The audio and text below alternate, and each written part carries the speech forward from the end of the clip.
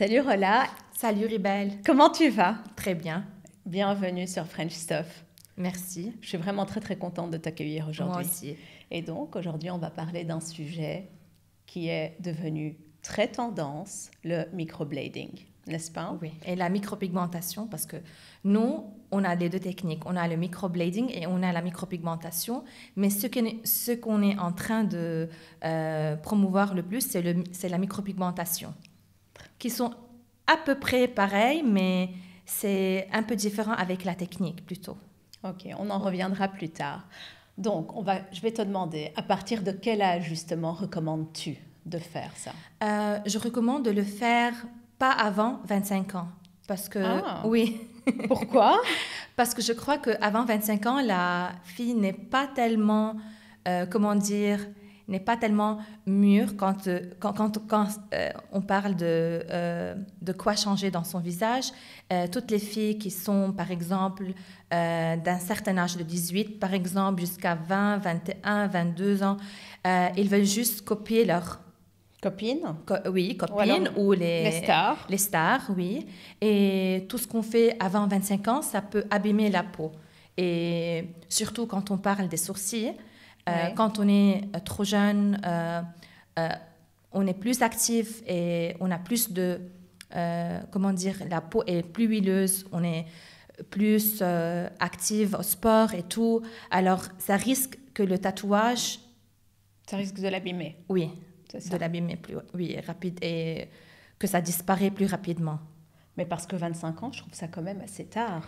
Parce que quand on va parler d'autres chirurgies esthétiques, par exemple, Oui. bon, ce n'est pas une chirurgie esthétique, entendons-nous, mais quand on parle de rhinoplastie, autre chose, donc tout ce qui touche par rapport au visage, généralement, les médecins le recommandent à partir de 18 ans, quand, quand l'enfant, en fait, quand l'enfant devient adulte, tu oui. vois. Moi, l'âge que j'ai choisi, c'est après une statistique que j'ai fait avec mes clientes. Toutes mes clientes qui ont fait un tatouage avant, avant 25 ans L'ont regretté. regretté. Oui. Et après une statistique que j'ai fait moi-même avec mes propres clientes, j'ai trouvé qu'à partir de 25 ans, c'est un bon âge. Ok, parfait. Ouais. Et puis maintenant, dis-moi, Rola, comment est-ce que tu vas définir la forme du sourcil que tu vas donner? La forme du sourcil, elle a rapport avec euh, la forme du visage, Oui, avant tout. oui. Euh, Il y a des personnes- angles que tu vas calculer, il y a des choses spécifiques. On calcule, mais pas vraiment. Parce qu'il y a des, des autres artistes qui travaillent sur le golden ratio. Euh, on dit le golden ratio, c'est à partir, par exemple, on prend les, les des règles euh, définitives de, de, de mesure pour, pour voir euh, où se trouve le euh, début de sourcil, le plus haut point et le tail. Ça veut dire le, le dernier Oui, point oui. des sourcils. Mais moi, je travaille plutôt sur la forme du visage. La forme du visage, quand elle est plus arrondie, quand elle est plus de forme de carré, on a besoin d'un truc pour donner un peu plus de euh, féminité. Oui, de douceur. Bien, ça. oui. Et on travaille plutôt sur les sourcils un peu plus relevés. Mais quand on a le visage qui est mince, qui est allongé, on travaille plus sur les sourcils qui sont plus straight, comme on dit ça en français. Droit. Droit, oui, bien sûr. oui, pour donner un peu plus de joues. Parce que quand les, pois, quand les sourcils sont plus droits, euh, ça donne un peu plus de volume sur les, au niveau des joues. Et euh, jusqu'à quel point les sourcils peuvent-ils sublimer la beauté du, visa- Ah, du tout. visage? Tout, le visage. Ça change oui, tout? ça change tout, vraiment tout. La forme, la couleur, euh, la hauteur. Euh, à chaque fois qu'une cliente veut, euh, veut entamer le, le, de nouveaux sourcils, veut faire le, Le microblading ou la micropigmentation, on lui, euh, on lui euh, advise, on lui conseille qu'elle doit vraiment essayer plusieurs formes, plusieurs couleurs avant de le, de le faire. Surtout si à chaque fois qu'elle se maquille, elle change à chaque fois les- la forme. Parce que chaque sourcil donne un caractère euh, un peu défini. Le- les sourcils plus épais donnent un, un caractère, les sourcils euh, Plus fin. plus fins donnent un, un autre caractère. Oui. Ça, dépend vraiment du caractère et de la forme du visage. Mais justement, pour en revenir à la couleur, comme Oui. tu as dit, par exemple, euh, donc avant d'aller sur la forme définitive et de faire la micropigmentation, etc., tu dis qu'il faut essayer plusieurs fois. Donc nous devons essayer nous-mêmes à la maison sans aller dans un institut. Oui, oui, oui, bien Et donc sûr. là, quels sont justement euh, les conseils que tu peux donner Déjà par rapport à la couleur qu'on va utiliser? La couleur, ça dépend élargement. ça dépend C'est la carnation du visage, ça dépend du temps, quoi? de température du visage. Quand la peau elle est plus chaude, Oui. On préfère les couleurs qui sont plus chaudes. Mhm. On parle du marron au chocolat et de toutes ces couleurs qui sont chaudes. Et quand la couleur de peau elle est plus froide, on préfère les- toutes les couleurs qui sont un peu hachées. C'est le euh, Cendré. Oui, c'est le cendré, exact. Oui. Ok. Et mais par rapport à la forme aussi, est-ce qu'on peut venir euh, On ne peut pas changer beaucoup de formes avec la micropigmentation et le microblading. On peut changer un peu. Quand on a, par exemple, quand on a, quand on a les sourcils très fins, on ne peut pas les faire très, Très épais. épais. Oui. On peut juste élargir ou agrandir de 20 à 30% maximum. Mais tu trouves pas justement que bah, depuis ces dernières années, moi ce que j'ai constaté, c'est que les sourcils deviennent au fait un effet de mode, un effet de tendance. Avant, Oui. avant, tu vois, ce n'était pas comme ça. On n'était pas, ok, il y avait le tatouage traditionnel, etc., bah, qui est juste horrible. Aussi, Oui. On en reviendra plus tard. Mais là, je trouve que maintenant, par exemple, ces dernières années, ce qui est à la mode, c'est des sourcils qui sont beaucoup plus épais. Ok, il y a quelques années, c'était des sourcils qui étaient plus fins aussi. Moi-même, j'étais victime de cette mode parce que moi, j'avais les sourcils très épais. À- un certain moment, je les fais plus fins. Oui. Et j'ai tellement regretté que Mais- maintenant, je conseille à tout, le- tout le monde de jamais enlever les sourcils, de juste enlever ce qui déborde de, de la forme et de ne pas suivre une mode euh, spécifique. Donc juste de nettoyer. Donc en Juste fait, de il faut pas, nettoyer. il faut garder sa forme naturelle. Oui, parce qu'on va vraiment regretter ça après un certain temps. En plus parce qu'on est né comme ça. Oui. Donc si Dieu nous a créés comme ça, Oui, vraiment. Oui, Hein? exact, oui. on doit garder notre On doit forme garder parce que c'est ça qui va nous donner un, un- un- Notre comment dire, charme. notre charme, un look plus jeune, euh, plus naturel, parce que ça, c'est la mode aussi. Maintenant, toute la mode, tout ce qui est en relation avec la beauté, c'est maintenant, on parle plus et on vire plus vers la beauté naturelle. Ok. Ouais. Ok, très bien. Donc, il faut absolument pas suivre les tendances actuelles, n'est-ce pas? Oui, On reste sur notre sourcil naturel. naturel. Parfait.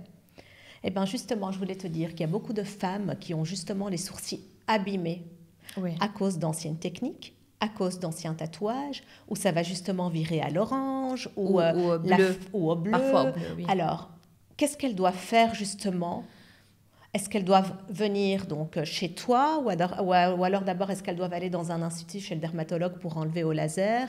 Comment ça va se On passer conseille justement? d'habitude, on conseille deux techniques qui sont différentes. Une qui s'appelle le non-laser technique, Oui. qui est comme par exemple le saline removal.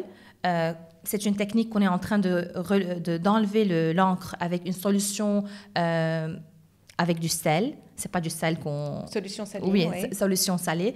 Et l'autre technique, c'est la technique du laser.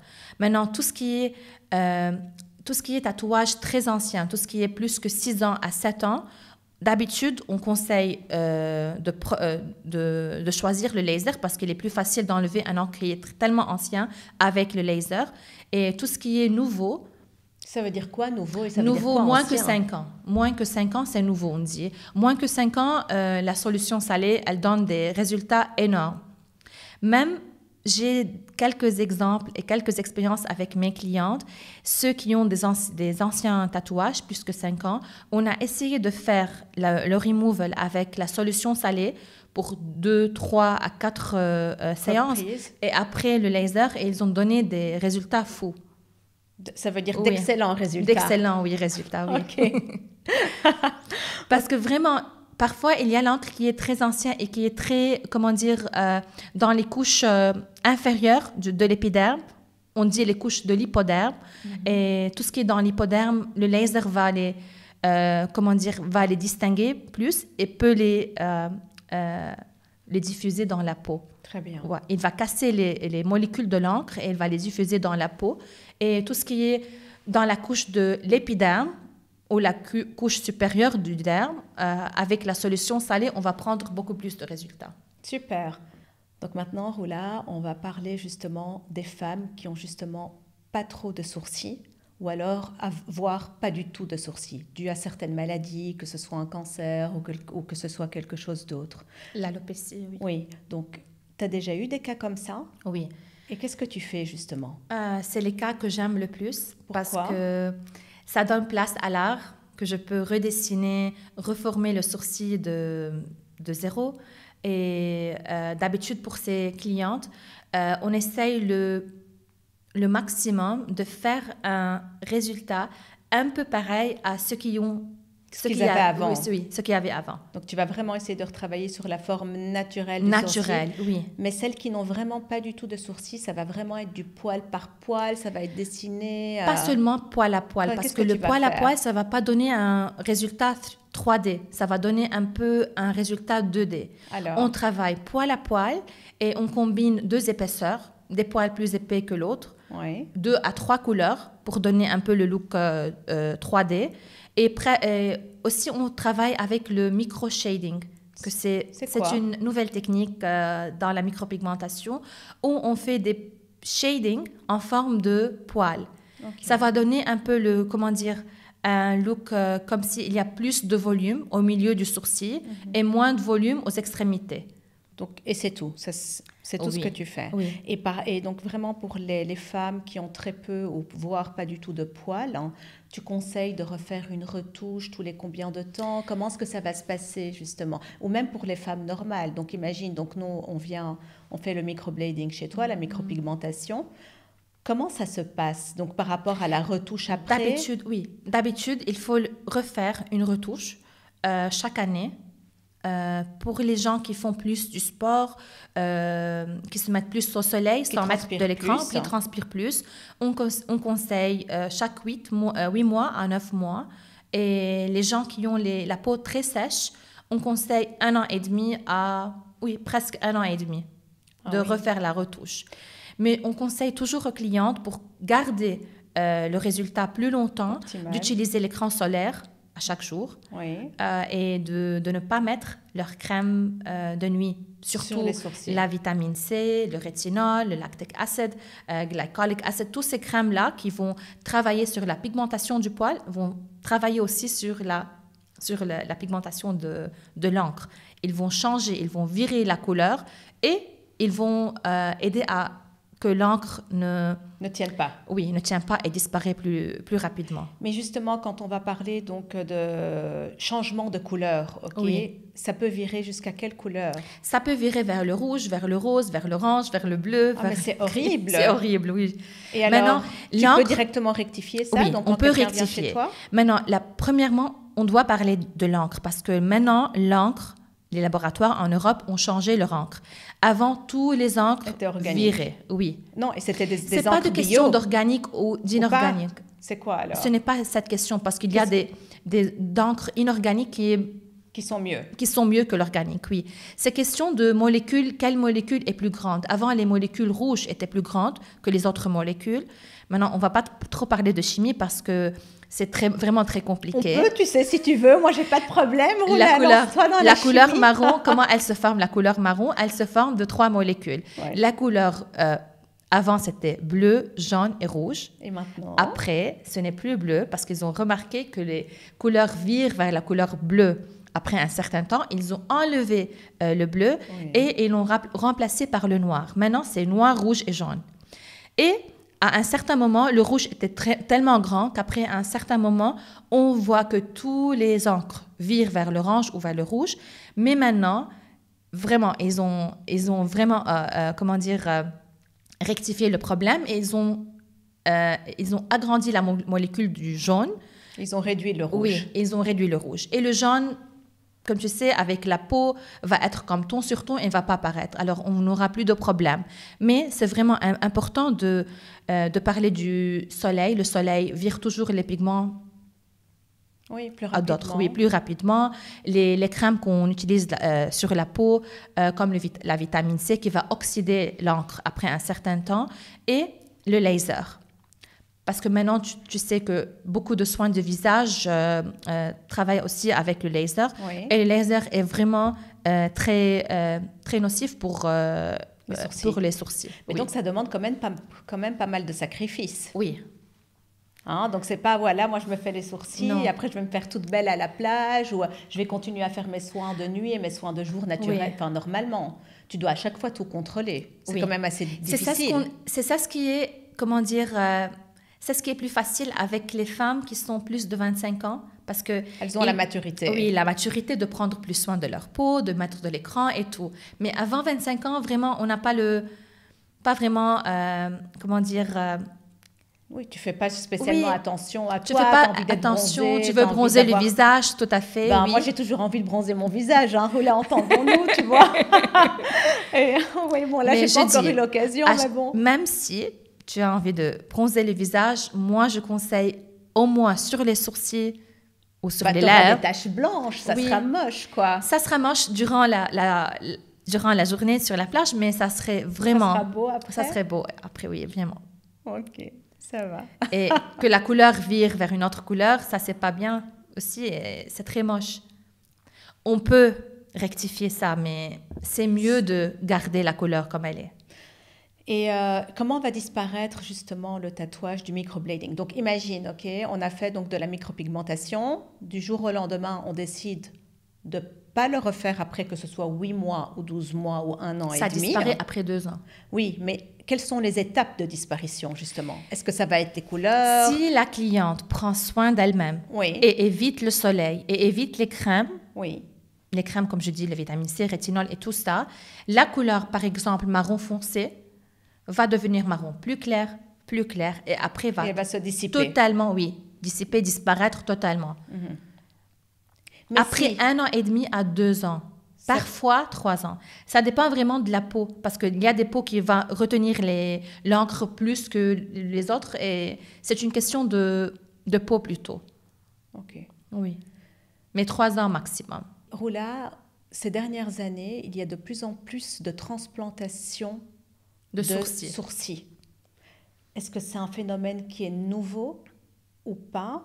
Et quelles sont les conséquences? Est-ce que tu as déjà eu des cas pareils? Est-ce que...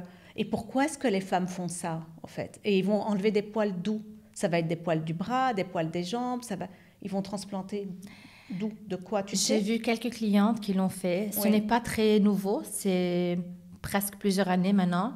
Euh, je n'ai jamais aimé le résultat et je trouve que c'est très moche parce que les poils, ils, les enlèvent tout à fait du, des cheveux, parfois des aisselles. Oui. C'est moche. Et imagine-toi que les C'est que pas le la même poil épaisseur, déjà. exactly l'épaisseur elle est plus euh, Épaisse. plus épaisse et ils vont pousser plus plus rapidement. Ouais. Alors, à chaque, à chaque fois que- qu'une personne euh, va faire la, euh, la transplantation des sourcils, elle va utiliser le, les ciseaux à chaque, chaque... Oui, je sais. Chaque deux à trois jours, elle doit les couper parce qu'ils poussent très rapidement. C'est vrai? Oui, ils poussent très rapidement. C'est Et même, ce n'est jamais naturel. Et euh, la direction des poils, ce n'est jamais comme la, la poussée des, des poils. Maintenant, dans un cas seulement, je conseille la transplantation des poils si la cliente n'a pas des poils des côtés, parce qu'on trouve parfois que les clientes ont des euh, sourcils qui se coupent à ce niveau-là. Et ici, sur, Il y a rien. euh, Il n'y a rien. Dans ce, niveau, dans, Dans dans, ce dans- cas-là. dans ce cas-là seulement, je conseille la transplantation des poils, mais si la cliente elle-même a des poils qui sont épais et qui sont de direction, euh, comment dire, euh, Oui. Farf- peu- un peu farfelu partout. oui, farfelu partout, oui. Très bien. Dans ce cas-là seulement, elle peut avoir plus ou moins un look un peu naturel. Mais jamais de là, parce que là, c'est très moche. Ok, très bien. Et euh, dis-moi, euh, Roula, quel conseil justement pourrais- pourrais-tu donner à toutes ces filles, femmes qui sont en train de nous écouter pour l'instant? De prendre leur temps, parce que maintenant, il y a trop d'artistes qui, qui font le microblading et la, micropigmentation à des prix vraiment euh, parfois... Imbattable. Oui, imbattable. Et je, je, je conseille juste les clients de, de, de, de se regarder dans le miroir chaque jour et d'imaginer qu'est-ce qui est le truc qu'ils ne peuvent pas sortir sans. Dans le maquillage, je veux dire. Parce que parfois, des clientes euh, viennent chez moi et me disent S'il te plaît, Rola, regarde-moi et dis-moi euh, ce qu'il faut faire. Et je lui, je, je lui réponds à chaque fois à chaque fois que tu te réveilles le matin, qu'est-ce qui est le maquillage ou le produit qui est indispensable pour toi avant de sortir? Si elle me dit par exemple le rouge à lèvres, je lui dis alors là, si tu ne peux pas sortir sans le rouge à lèvres, je te conseille de faire le lip blush. Et si elle ne peut pas sortir euh, sans le crayon à sourcils, je lui conseille de faire les, sourcils. Euh, et de prendre leur temps, de faire leurs études, euh, d'entendre de, plusieurs clientes qui ont fait chez la même personne, euh, de voir les résultats avant et après, et de surtout voir les healed results. Parce que parfois, sur les réseaux sociaux, on voit les, les, les, photos avant et tout à fait immediate result, tout à fait après. Et il faut vraiment voir les résultats après quelques mois, même après un an, pour voir euh, la couleur, pour voir la forme, pour voir vraiment euh, ce qui a été travaillé et qui est mieux que l'autre. Quel artiste elle est vraiment plus doué, quel artiste elle est euh, plus, qui a plus d'expérience, je veux dire. Ok, super. Et dis-moi, je voulais encore juste te poser une petite question par rapport à la procédure. Comment ça va se passer justement?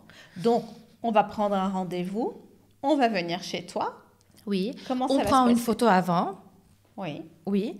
Après, on discute avec la cliente. On prend son, euh, euh, son choix, on veut dire. On demande, en fait. On demande, oui, à la cliente ce qu'elle préfère. Mhm. Mais en même temps, on lui dit ce qu'on nous, on, lui, on lui conseille. Mais donc, tu tiens pas tout le temps compte de ce que la cliente veut pas vraiment, parce que la plupart du temps, que, comme j'avais dit euh, avant, que elle veut, elle veut faire ça parce qu'elle veut copier quelqu'un. Même après un certain âge, tout le monde veut copier quelqu'un. Tout le monde veut ressembler à quelqu'un. On a tous son idéal féminin, c'est ça? Exactement. Alors, euh, je lui conseille toujours. Et je dessine parfois un poil comme elle, elle veut, et un autre poil, comme un autre sourcil, sorry. Un sourcil comme elle, elle veut, et un autre sourcil comme moi, je veux. Ok.